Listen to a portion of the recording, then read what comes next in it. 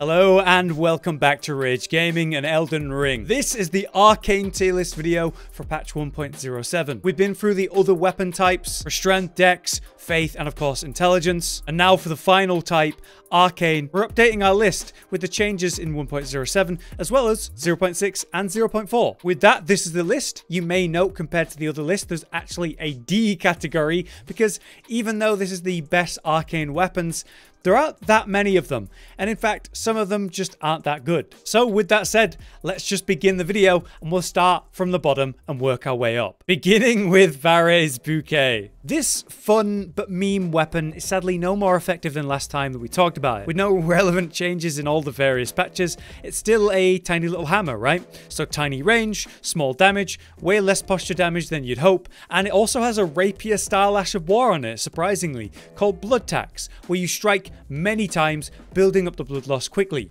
The problem is that it's a small hammer, right? So it's got no range compared to a rapier or a longer thrusting weapon. So it's hard to even land that and get it off effectively. And that's essentially your best way to deal damage with this weapon. So it's still not good even if you can buff it up, even though it's a bleed weapon already. And I find it funny how it's basically seen no love in all the patches so far. Feels like a very forgotten weapon. Also in the D category though is the Ripple Blade. The literal only arcane scaling axe without having to change change its original affinity to make it that. Comes with very few positives, unfortunately. You can apply multiple buffs that scale off of Arcane and maximize the effectiveness of this weapon, but even then it's just not that strong. Because you could genuinely just take, say, another axe and then apply affinity that scales with Arcane, with whatever status you want to work with. And that will work a lot better. Not to mention this weapon type, you know, you got a small range, not massive hits, again, not massive posture damage. It's weak overall. As cool as the design of this weapon actually is. Lastly, for D tier though, we have the Clinging Bone Fist, which has actually seen improvements. Yay. Now, it's an interesting weapon, not just in the design that you're hitting people with a little bone arm, but that it's also the longest ranged fist weapon in the game, which is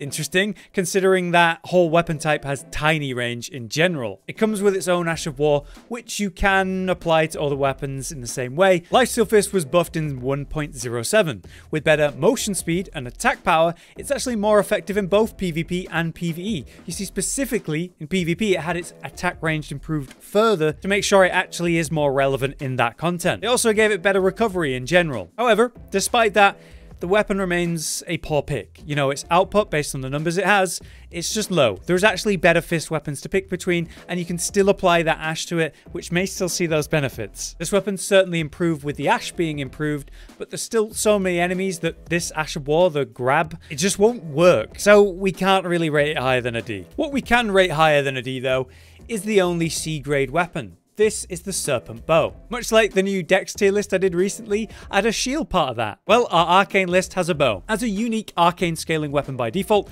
it has to be acknowledged on this list, and I'd rate it the same as before, which is a C grade. But only barely. It's a cool design, and effective at applying poison from a distance. That's the whole gimmick and concept of this weapon. However, if you were to take another good bow of similar style, like say Pulley Bow, you'll have higher damage numbers and can still apply status by using specific arrows Or you could use a faster application method like the pulley crossbow using poison bolts. So by using either of these options, you'll deal more damage, you'll apply more than just poison but all the different statuses you might want to, and so you'll be a lot less limited. Still, the serpent bow is a unique and cool weapon, especially in that design, but it's only really effective at one task and that's applying poison. At least it's effective at something, which is more than we can say for the D tier weapons here. Alright, let's get interesting now as we move up into the B tier with the Ripple Crescent Halberd. The highest natural AR arcane weapon that we can buff up in various ways means it's not a bad pick at all. This leads to very effective status build up and application, and a great pick for that would be Sleep. You can commit full to arcane to maximize how effective this weapon, then whatever status grease you've applied, that status will build up really quick because you have high arcane. I see this run in PvP, while rarely, occasionally to great effect. That build attempts to land even just a couple hits to put someone to sleep, which will then hold them in place. Then while stunned, you can use a very effective Ash of War or multiple hit combo to burst them. Or you could not worry about something like sleep and just do meta and simple. Use bleed, and then just go to town with your tons of bleed procs. You know, relatively it's better than it used to be because Seppuku's been nerfed, which was previously the king. As that's made weaker and also more expensive to run, this by comparison is better. So it has to be acknowledged as a strong weapon with good potential and with a variety of status options you can run with it. On the other hand, we have another weapon here that's just a bit outclassed by what you could compare it to. The regalia of Eochaid here is the Dancing Blade Straight Sword. As a straight sword, it works well in power stance with effective use, and yeah, you can get good damage with that. But it all ties to the Ash of War that makes this weapon special, right? You send the Dancing Blade forward and corkscrew spin it on a target from medium to close range, burning health away, which is very effective when you have successive hits in your build. A very cool and effective way to deal damage at medium range when you use the right build. Certainly viable in PvE. But as I said, it's completely outclassed by the bigger, more effective weapon that was directly improved in previous patches compared to this one. Having said that, the Ash of War Eochaid's Dancing Blade was improved in 1.07 to have better recovery from that, but it's not that relevant. A bit more relevant by comparison is the Reduvia dagger here, which compared to the previous tier list has gone up a grade. A bit of a fan favourite weapon due to how effective it is, especially in power stance with another dagger or another Reduvia. It's a cool weapon. The moveset, though, has tiny range, much like any dagger, but good output because it's a fast-hitting bleed build-up weapon. Where it truly shines is the Ash of War, though, the Blood Blade, which sort of sends out this wave of blood, dealing nice damage and good bleed status build-up from range. The Ash was buffed to have higher attack power, which is relevant in PvE, and damage detection on the weapon part itself. So a point blank Blood Blade will hit them with the bleed attack itself, but also the dagger at the same time, so it has had its damage increased in that way. You can fling that projectile over and over though, spamming the Ash and doing this long combination of range blood buildup. And that really only works better now in this current patch. So I feel it's in a solid place now, but it still suffers from the terrible dagger range and difficulty that it's going to have with heavier opponents who aren't going to flinch when hit by a small little dagger. So a high B grade that seems fair to me. Moving up though, we have the A tier picks, starting with Morgott's Cursed Blade. As a curved greatsword, it had a nice moveset and good range, and its bleed potential was solid enough,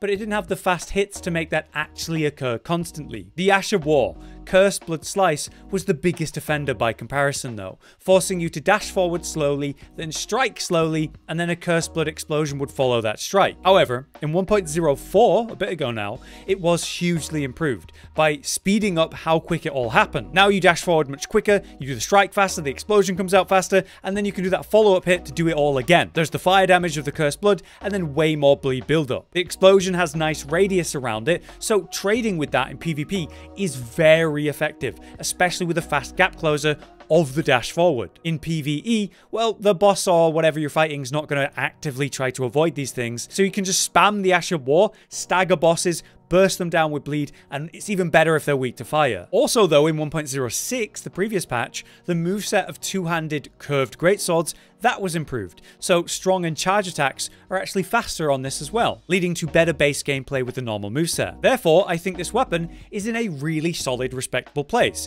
While not necessarily broken, it is very good, and I think that's why it deserves an A grade. Also very good then is the Bloody Helice. You might see a bit of a theme as we go into A grade and above with Bleed. Now in this case we have a heavier rapier style weapon, all about thrust attacks at impressive range and heavy hits with that. And it comes with this unique Ash of War, the Dynast's Finesse. It's really cool, it's this evasive backstep which can then be followed up by choice with a strong attack to dash back forward and sort of destroy the target that's where you dash back from. That's deadly in all content, against bosses or in the open world because it's easy to land and very effective thanks to the weight behind the hits. In PvP, it's shockingly strong, due to the dodge working as this fantastic evade, and then that huge punish of a strong follow-up if they try to trade. The issue with that though is that it's clear what's coming if you see it coming, right? It's easy to evade and hopefully punish the person doing it. But you don't have to use the follow-up immediately. You could combo that jump backwards multiple times,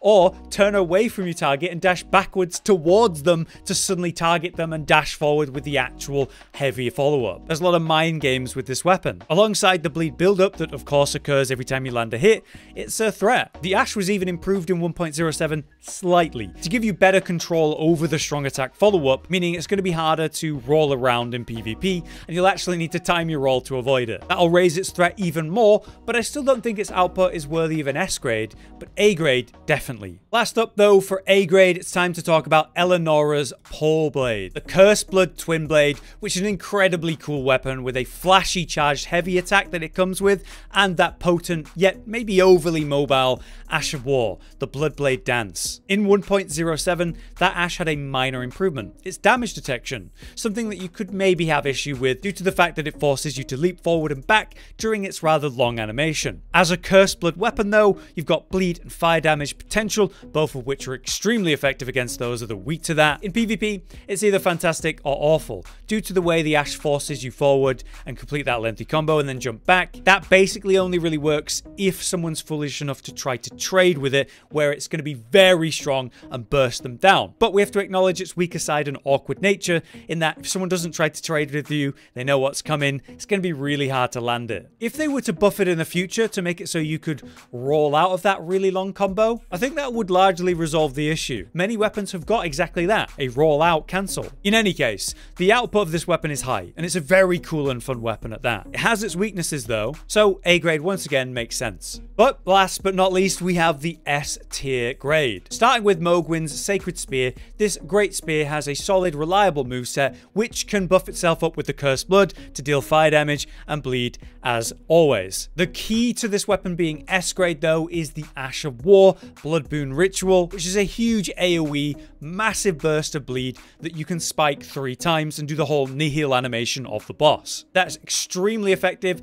in PvE, in open world, in AoE, in PvP. It's a very good weapon. The running heavy attack is insane. Great spears in general I think are doing great this patch. So I think this weapon remains an S tier, obviously, despite the fact that it was technically nerfed in this patch, where they reduced the actual range of that AoE of the Ash, but it's only minor. It's still really good range and really effective. Another weapon I'm happy to put into S grade though is Marais Executioner Sword. As I mentioned earlier, the straight sword version of this, totally outclassed by another weapon. This is the great sword. This is the better version. This is the one that does way more damage and is way more effective and actually viable in PvP. Originally, it was also a really disappointing weapon, but it has been improved in various patches. For example, in 1.04, the all-important travel distance of the Ash of War, the range at which it goes, that was massively improved.